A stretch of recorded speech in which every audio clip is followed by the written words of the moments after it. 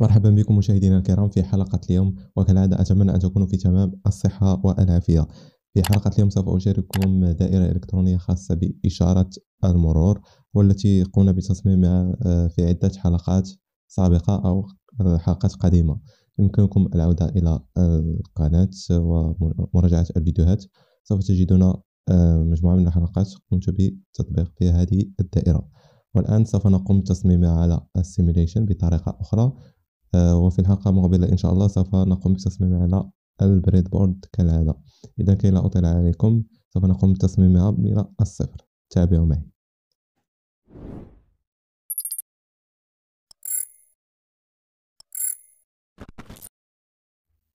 بداية نحن بحاجة إلى بطارية كالعادة تسعة فولت أو اثنا فولت.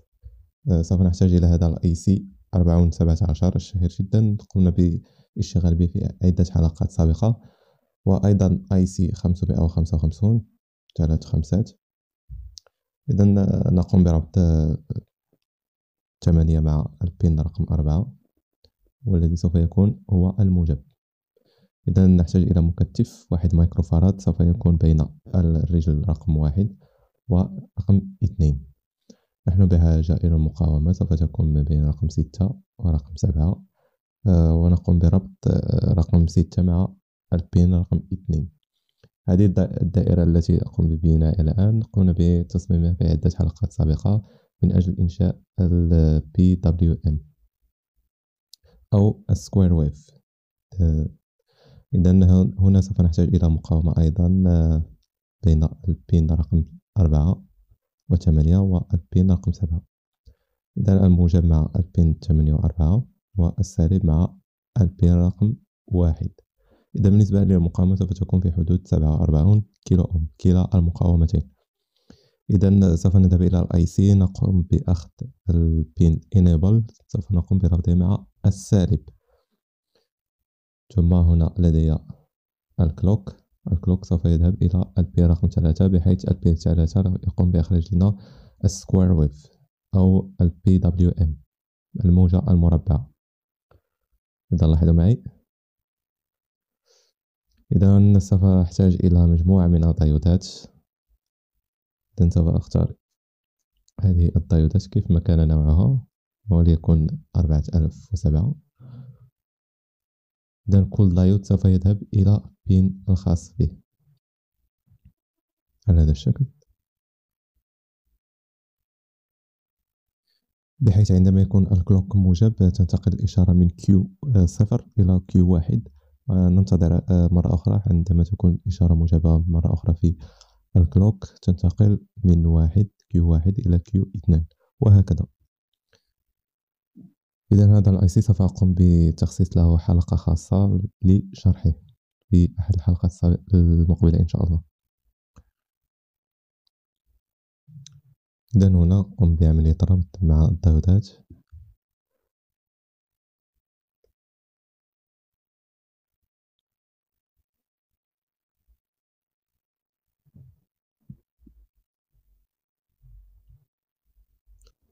إذا هنا قمت بجمع ال diodeات مع بعضها بعض من جهة السالب. كي عندما تخرج إشارة من ال Q صفر لا تدخل إلى ال Q واحد. وعندما تخرج من ال Q واحد لا تدخل إلى ال Q اثنان أو ترجع إلى Q صفر. وهكذا. إذا هنا قمت بربط الديود في الجزء الثاني. قمت بربط الديود الأول بشكل جيد ولكن يجب تخطي pin من أجل الحصول على ال LED الوسط أن ينطفئ ويشتغل ينطفئ ويشتغل. إذا على هذا الشكل إذا سوف أقوم بحذف هذا. يعني دايود ثم تخطي pin diode ثم تخطي pin أو هذه ال diodeات الوسطى سوف تكون للل LED البرتقالي. إذا ال diodeة الأخيرة سوف تكون للل LED الأخضر أو ال LED الأحمر.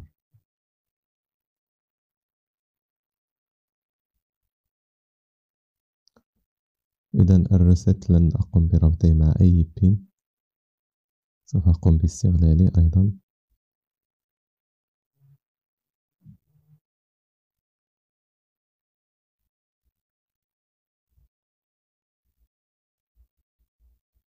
إذا سوف نحتاج إلى مقاومة في حدود واحد كيلو أو من مئتين وعشرون أوم إلى واحد كيلو أوم.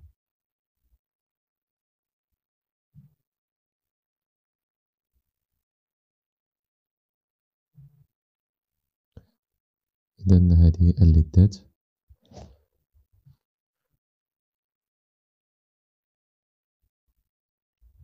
إذا الليدات سوف أقوم بربطها بهذا الشكل. هذا أرضي أي يعني السالب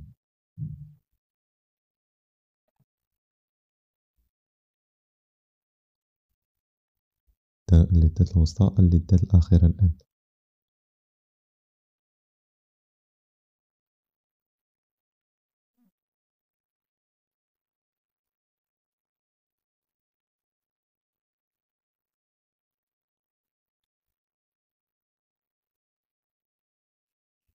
إذا وجب وضع هذا أيضا في سالب البطارية هذا هو الأرضي.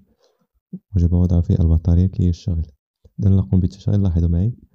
آه، الموجة أو ال square wave شغالة لكن الإضاءة غير موجودة.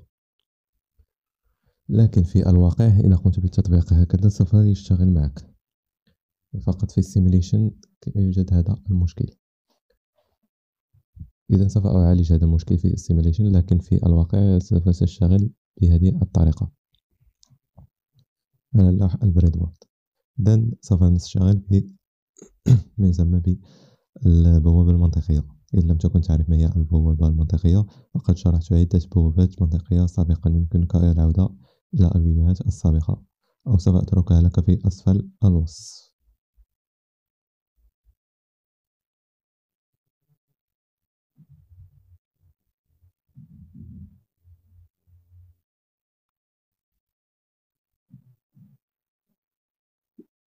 إذا الآن سوف أقوم بالتجريب لاحظوا معي لم يشتغل أبدا.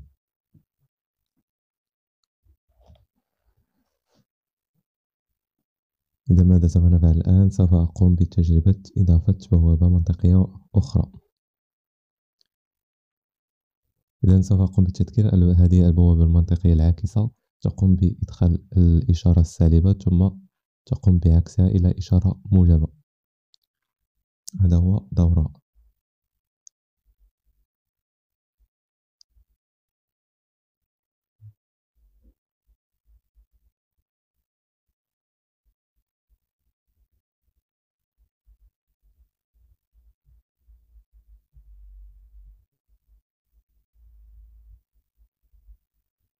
إذا سوف أقوم بالتجريب مرة أخرى. إذا الليدات لم تشتغل وهذا مشكل آخر. إذا ما سوف أقوم به الآن؟ سوف أقوم بقلب الليدات تشتغل بالعكس.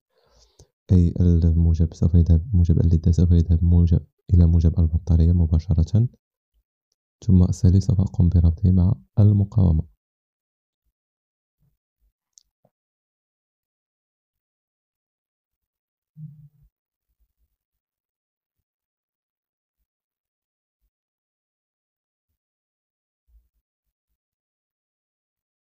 بهذه الطريقة.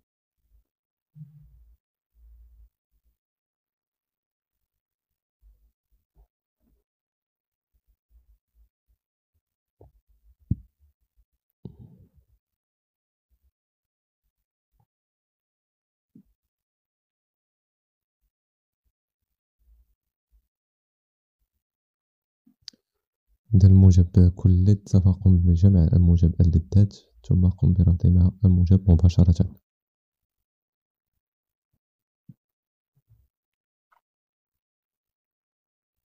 موجب البطارية إذا لنقوم بالتجربة الآن. لاحظوا معي. لكن يوجد مشكل آخر. هو ال LED ال LEDات التي سوف تلعب الدور ال LED الأخضر. يشتغل مع البرتقالي والأحمر وهذا مشكل. إذا سوف أقوم بإزالة السلك ال Q عشرة. وأقوم بربطه بالريست بهذا الشكل.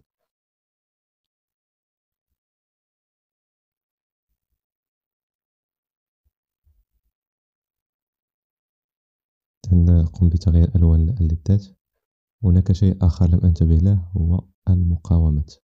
المقاومات قمت بجعلها سبعة أربعون كيلو أوم ولم أقم بتغييرها. إذا لاحظوا هناك مشكل آخر مشكل ال LEDات متوقف على اللون الأحمر. إذا هذا مشكل ال reset يجب إزالة ال reset. ووضعه في ال Q عشرة. لاحظوا معي؟ لكن ال LED الأخضر لا يقوم ب لا يقوم بثبات لمدة طويلة. إذا وجب آه، زيادة pinات أخرى. إذا ما سوف أفعل به سوف أقوم بإزالة آه، دايود من ال LED الأحمر. و آه، إضافة الدايود للون البرتقالي في ال pin الثالث. عفوا هنا سوف أقوم بتخطي البين بهذا الشكل ثم كي أحصل على بين زائد في الأسفل لأن هذا الأي سي به فقط تسع تسع مخارج.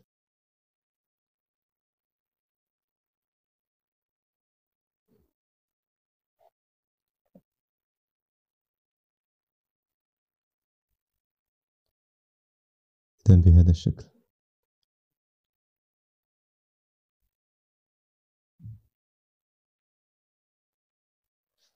إذا لاحظ معي الآن اللون الأخضر الأحمر ثم الأصفر. إذا أنا قمت بتسريع الفيديو لذلك آه، تنتقل بسرعة. يمكنك للتحكم في سرعة آه، هذه الليدات. يمكنك آه، إضافة مقاومة متغيرة بين ال pin رقم ستة وسبعة بدون تغيير المكتف إذا الآن سوف نرى هذا ال simulation على ال PCB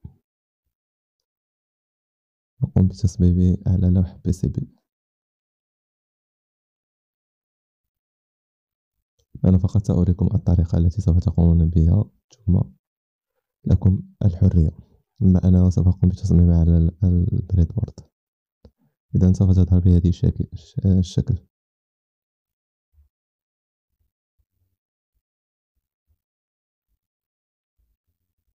ننتظر حتى يتم رسم المسارات.